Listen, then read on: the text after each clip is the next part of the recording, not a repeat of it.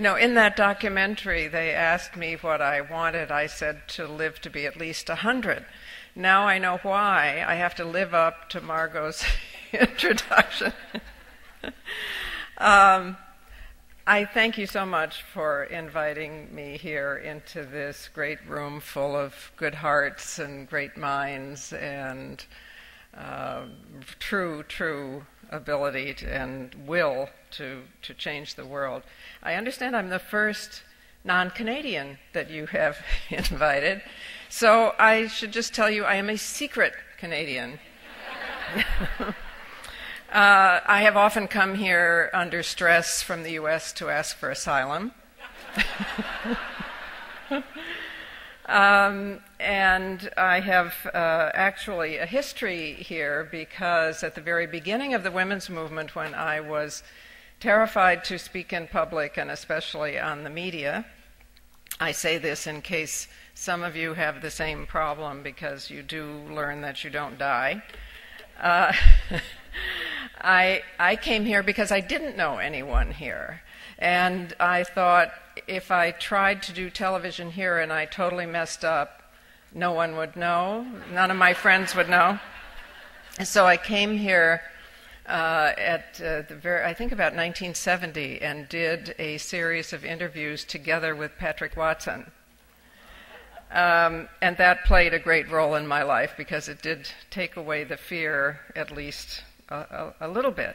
And I have come for LEAF and Dr. Henry Morgentaler and so many of, of the groups here. And now I come because I do know people. I know Michele Landsberg here, who, I mean, anybody would want to be in the same town with Michele Landsberg and Stephen Lewis, right? And because. uh, who's been writing the revolution for a very long time and now has a book called Writing the Revolution. And then I had to come because Karen Lippert, who put Ms. Magazine on the map for many years, my colleague, moved here. And I was so jealous of the fact that you had her. And now Margot. and there are so, so many people here who mean so much in my life. So, I, I really feel I have a history here, but I also have to tell you I have never, ever, ever come with more feeling of pleasure and satisfaction than to celebrate the Canadian Women's Foundation. It is a star, a bright star of the global women's funding movement. When we first began, all of all corporate uh, philanthropic private giving altogether, only about 1 to 5 percent went to projects for women and girls. So it was absolutely crucial that we increase that amount of funding, and it is still crucial.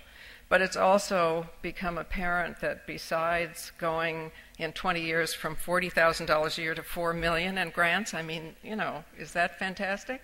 it is it is so important because this foundation is so well run and so trusted and so aware of how to do something magic that very few foundations understand, which is to create independence, not dependence. To understand how to give money in that way. So I salute you I thank you. I thank you for being an inspiration. And I understand very well that the reward here is uh, to be together in this room, yes. Uh, for me to get to see you, yes. But the reward was in that film when that young woman said, Thank you for my life. That is the true reward. It, I think it brought tears, right, to a lot of us. Um, now, it seems to me that um, among the secrets of success for the foundation and for all women's endeavors in many ways is an understanding that, yes, God is in the details, as they say, right? But the goddess is in the connections. The goddess is understanding that our goal is to be linked, but not ranked. Our goal is to return to the circles in which we sit here and to get out of the pyramid structure that arrived actually when Europeans, the pioneers of patriarchy, arrived on this subcontinent and began to replace what had been layers of circles as forms of governance with hierarchy, pyramid, labels. Labeling is the enemy of connection. So, I would just like to cite a few ways in which I think we still are making those connections and getting the social justice movements themselves out of silos, you know, out of thinking about the women's movement, the anti racist movement, the environmental movement, the gay and lesbian movement. That's all very important because it's a process of becoming visible but it also, by the very labeling, sometimes keeps us from seeing the connections. For instance, when I'm on campus, as I often am, speaking on several a month, sometimes students say to me, um, Why is it that the same right wing groups are against feminism, uh, against, say, against lesbianism, and against birth control? you know? that seems odd on the face of it, right? But in fact, they understand the connection, and so we should understand the connection. They understand that their point of view is all sexual expression is only moral and okay when it can end in conception. Therefore, any forms of contraception or any forms of human love for each other uh, that does not symbolize conception, love between two women, between two men, they understand that they are against all of that. And we need to understand that those connections are for us too. There's a reason why the women's movement has always arisen at the same time as a movement for gay and lesbian rights, whether it was in Germany between World Wars I and II, where there was a huge women's movement, the biggest in the world, and more women as part of the Bundestag than any place in any other parliament, uh, and a huge gay and lesbian rights movement, and the National Socialists, the authoritarians, rose against those two movements and came to power specifically calling for what was it, Kinda? I can never say it right, but anyway, church, hearth, children, against freedom for women and uh, against uh, any idea that there was any goal for uh, sexuality except the creation of, of the master race. Um, I'm afraid that in our last national election in my own country, when we had the kind of special torture of having two firsts at the same time, uh, of having both Hillary Clinton and Barack Obama. The press greatly increased on this continent the lie, the utter lie of saying that sex and race are separate. And not only separate, but competitive. The idea was who should come first. It was so, so destructive we are still mending from this terrible division. Because the truth is that racism is a major, major motive for controlling women as the means of reproduction.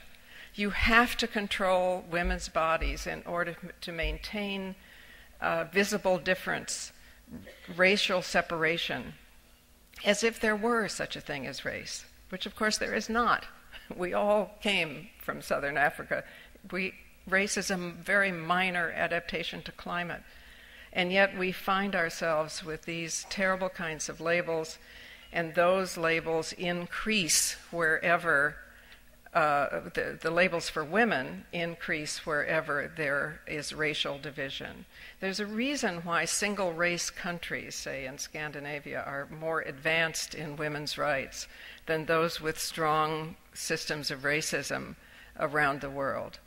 Uh, and we must recognize that and understand that we are acting always, we must act in, in coalition. uh, there's supposed to be a difference between um, the, a kind of fatal difference almost. Perhaps that's a pun. Between the young and the old. I guess it's a pun.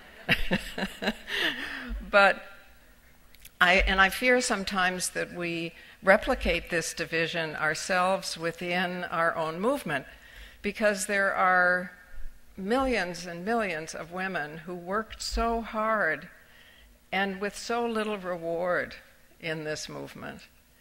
And in a way, because they were not rewarded as they should have been, are now trying to extract gratitude from young women. It's sort of like, you know, I walked 30 miles in the snow to school, you know, and you didn't. You know. well, it's true, you know, we all, we should have been rewarded. But it's also true that gratitude never radicalized anybody. I didn't walk around saying thank you for the vote. No. I got mad on my own behalf. And the, the truth is that younger women experience the same discrimination uh, and get angry, but for different reasons and different forms. We were angry about the criminalization and the great danger that came from, from criminalized abortion they, in my country at least, are very angry about uh, no sex education in the schools, uh, about no insurance payment for prescription birth control.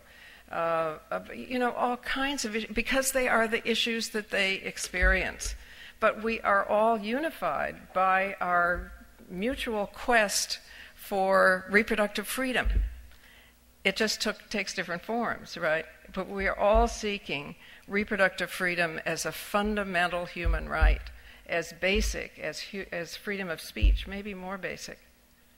We are fighting around the world women's movements, whether they are against female genital mutilation or the, the ability to have a child or the ability not to have a child.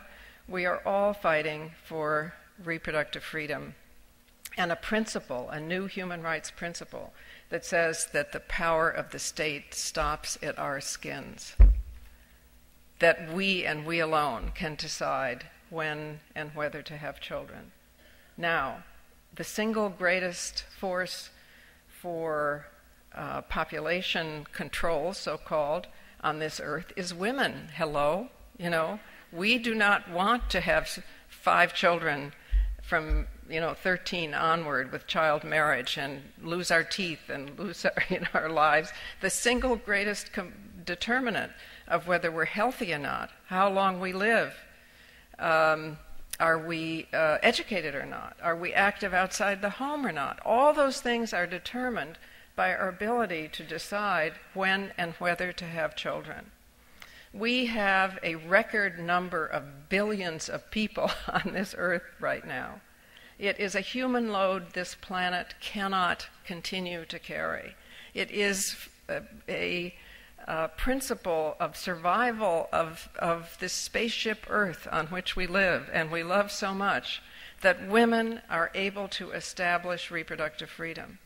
And yet, are we perceived as part of the environmental movement, the most important part of the environmental movement? Not very often the women have always been 80% at least of the environmental movement because of our feelings about this and our connections with nature, since nature is dictated by man, and we are too. We have a kind of special feeling for nature. we, but the leadership of our environmental movements is by and large the paid, visible spokespeople out there are by and large not females and I don't think the women's movement is still generally perceived as the fundament, the true fundament of, of the environmental movement. So, you know, wherever we look, there are connections that we must make. And we make them in the way that we always must, which is in our lives first. You know, revolutions are built uh, like houses from the bottom up, not from the top down. Uh, so the question is, what can we do about this? Well, take, for example, racial. Uh, uh, take, for example, I think we understand that if all of our friends look alike, we're missing something, right? But we perhaps don't understand, or understand less, that we can do something profound about the so called generational uh, division. Uh, for instance, I think we ought to examine the word mentor. The word mentor connotes a one way street. I have discovered that I learn much more from young, or as much at least, from younger women as they learn from me. And in the internet age, that's even more clear. right? They understand how to organize in all kinds of ways that I that I don't. So what do we do about this in our daily lives? Well, every time we're going to um, a meeting or a, any kind of event or place to which perhaps younger women don't yet have access, we can bring a younger woman with us.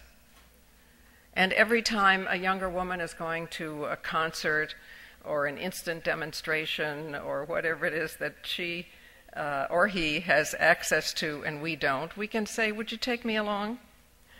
So, you know, we need to build this kind of change truly from, from the, the, the bottom up. And, you know, together we can brainstorm all kinds of, of other examples, but at a minimum, we can look at the so called other movements the gay and lesbian and transgender movement, the environmental movement, the movement against racism, and understand that when we work together, we're not looking for thanks or gratitude, we're doing it for ourselves. It is an intrinsic part of our own welfare and our own motivation. But I want to speak also for a minute because you are so um, importantly focused on, on violence against women, uh, especially about the divisions that are missing there. I, I think we don't yet understand that the degree of violence in the household is the can be is the exact predictor of the amount of violence in the street and in foreign policy. If violence is not normalized in the home and in the family, it is not seen as an acceptable way of solving conflict. If it is normalized in your childhood, in your own family, it becomes not only an acceptable way, but an inevitable way. You think that it's part of human nature. And this is not true. It, there are the, the the land on which we sit uh, that I think is part of what both we all, the, the nations of the Iroquois Confederacy, what we call the Iroquois Confederacy, the indigenous nations that were here, had a different form of government that had to do with consensus and rising levels of consensus. Indeed, they didn't even have gender in their languages. That is, gendered pronouns in their languages. There was no word for nature because they didn't feel they were separate from nature. Sometimes I think we should think about history vertically, you know, that if you think about it laterally, it seems too far away. But if you go out and touch rocks and walk on land and look at the horizon and understand that um, a few centuries ago, it's much closer for us on this continent than on, on many others in the Middle East, only five or six hundred years ago, people had different forms of government without the ideas of race and gender, without these kind of divisions. So, you know, we need to connect the idea of um, violence in the home to violence in public life, and we need to make those connections. We need to say to our creators of policy that every single dictator in the world that I have been able to study, from, from Hitler as the classic example, through Saddam Hussein, through Ceausescu in Romania, every single one of them was sadistically abused as a child and came to believe that there was no other way of behaving or solving conflict. I think as basically as children and as human beings, we experience empathy. When we see someone else in trouble, we try to help them. Uh, because empathy is part of our evolutionary equipment. The species couldn't have survived unless we had that feeling that we wanted to help a member of our species. When the um, Good Samaritans during World War II, the people who helped Jews, even though they themselves were not Jewish, at the risk of their own lives, when they were studied after the war, as everyone wanted to replicate them, so everyone studied them, the question was what was their shared characteristic? Because what they said was so much the same. They all said, I'm not a hero. I don't know why I did it. I just did it. I just didn't think of not doing it. Uh, and was it religion? Was it education? Was it family structure? And the single most shared characteristic was that they had not been abused as children. That the leap of empathy from one human being to the other had not been interrupted by a deep and, uh, conviction that there were only two choices to be the victim or the victimizer.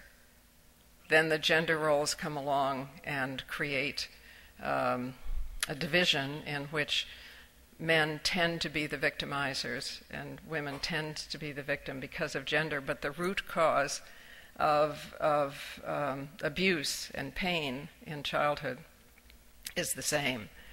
It is no less than the uh, our ability to survive on spaceship Earth that you are doing this work of, of trying to stop violence in the home, to denormalize violence in the home, to stop the crimes of, um, the, in both of our press, they're often called senseless crimes, you know, because they're not for uh, money or even stealing a pair of sneakers or, you know, it's your, it's the Montreal massacre. Um, it's the same recent uh, cause of the murder in Scandinavia, where he said, just like in the Montreal massacre, I'm murdering women, and he went after uh, younger women and blamed feminism for women not having enough children, and therefore people were coming in, Arabs were coming in. You, you know, um, it's the crimes of, of um, going into. Mm, post offices and schools and just shooting. Uh, it's the um, serial sadistic crimes. Every single one of them, as far as I've been able to determine, has been committed by a man, by a white man, and by a man who is not poor. Now, if, if every single one had been committed by a person of color, or by a woman, we would hear about it, right? But we don't. It's mostly headlines that say, What's happening to our children? What do you mean, our children? You know, this is a specific group. And it is a group who, through no fault of theirs, men, have been born into a system of male supremacy. And it causes some men to get hooked, addicted, like a drug, to supremacy when they aren't in control, they and other elements are are present. It's not a single element, but it's the most important element of, of the cult of masculinity. They then respond uh, in panic with murders and even tortures to exert that control. I think we ought to name them supremacy crimes. It's what they are. And they stretch from the battering husband or partner all the way through the sadistic dictator. But they really are supremacy crimes. They have no other rationale. They're not for food to eat, they're not for money, they're not for position. They are for the addiction to male supremacy.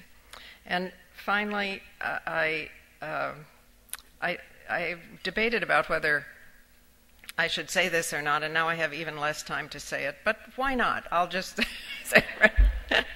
I think we have to really look seriously at the politics of religion. It is supposed to be off limits, you know, uh, but the fact of the matter is that spirituality is one thing, politics is too often something different. I mean, uh, Religion is too often some, something different. It's politics in the sky. And we have to think seriously about the reasons why God always looks like the ruling class. Didn't you wonder when you were little why Jesus had blonde curls and blue eyes in the middle of the Middle East? I mean, you know. and actually, uh, if you if you read the Gnostic Gospels, you see that God, that Jesus was a much nicer guy than the than the Bible tells us. He never said he was the Son of God. He said he was a teacher. Mary Magdalene was uh, a disciple. You know, it was you know he's suffering. Poor Jesus, and Muhammad, whose first wife was a real estate dealer, older than him, richer than him. They're all suffering too. but we have arrived at a, a system in which religion precedes colonialism, prepares for colonialism, in which religion sanctifies the, the ruling class. Uh, and we have to name it, I believe, and stop pretending that it's off limits.